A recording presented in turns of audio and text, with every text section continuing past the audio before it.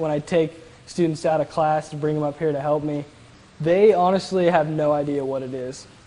I get a lot of the same questions all the time. You know, what is it? Oh, the plants are feeding the fish, and the fish are feeding the plants, and how does it work?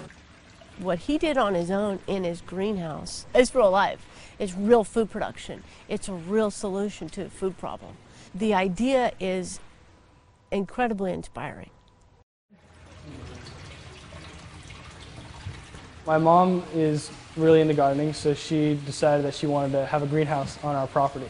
And we decided it would be a good idea to kind of check out some different alternatives as to what you could put in a greenhouse. So we decided to go to the University of Nevada, Reno for a, a workshop basically on hydroponics. And it just intrigued me. I said, Mom, listen, I think I could build one of these systems if I had the money to do it.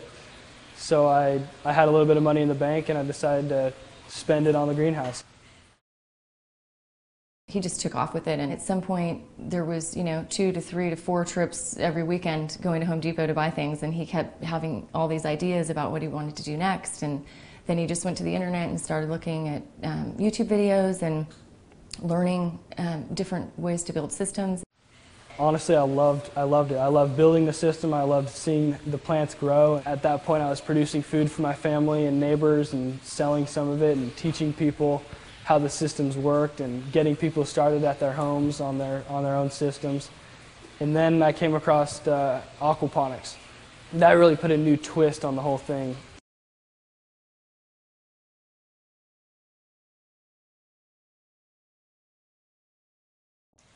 So here we have a 300 gallon trough that houses the fish. From the fish tank, the water is gravity fed into these three grow beds. From the grow beds, the water drains out into a series of sump tanks. Well, most kids today, uh, unfortunately, don't really understand where their food really comes from in the whole food system because we are several generations now lost from folks that actually grew up on a farm and were very connected in a local way or a regional way to their food. From the sump tanks, the water's pumped up from a pump that I have right here into these NFT beds. Uh, nutrient film technique is the term. And so He's embarking on uh, something that is growing as we speak. 50% of our fish that we eat today is uh, farm raised. That's going to go to about 75% in the next five years. So um, he's getting the best of both worlds. He's using the plants to remediate the uh, toxins uh, that the fish give off in their waste. So he's getting a vegetable product and a protein fish source about a year later. The water is gravity fed back into the fish tank where the water is completely purified and the fish are able to survive in a clean environment where all of the ammonia has been taken out of the system. I figured I would convert all of the systems that I had originally built hydroponically into aquaponic systems. So I tweaked the systems a little bit, put in air pumps, basically enhancing the greenhouse aquaponically ever since. So I was in an ag science class and we were, we were doing some work in the greenhouse and I noticed that really there wasn't anything going on in the greenhouse itself. I asked my dad, I said, you think we can, you know, try and put in an aquaponics system in the, in the greenhouse at school? He said, yeah, write up a proposal, present it to your teacher and the, and the school council and see, see what they say. I had no idea what it was, and what I did was I looked it up on YouTube. Also, I, I went to YouTube and said, what is this aquaponics uh, all about. And I was just uh, blown away by his enthusiasm, his drive, his determination. And I said, this kid's going to get this project done.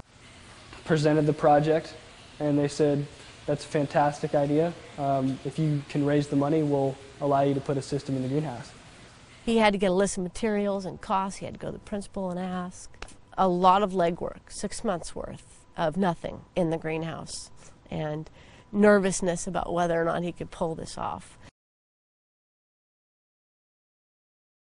The community support was, was a, a very large portion of this project. I had to go around to local organizations and be able to raise the money. So the community was an instrumental part in the system. when we have an uh, AC relay operated by 110 volts, when that fails, the contacts close and start the DC powered air pump. Pierre came along with the aquaponics project, of which we had basically no idea what it was. And he showed us how it works, and we were asked to help him with that. And it's been a great project and a good learning experience for us. When Pierre started this project, one of the things he had as a goal was to be able to supply our cafeteria with fresh vegetables right out of this greenhouse. It was a, quite a process because anytime you do something in a school, it's uh, about 10 times the paperwork. We have a wonderful salad bar that's used by hundreds and hundreds of students every single day. And it's really neat when those kids know they're digging into those greens they're coming right off of our campus. So this is a small scale aquaponics system that I designed for a classroom or residential setting. So you're looking at maybe 75 to 100 lettuce plants every two months. I want to bring this system into many different schools.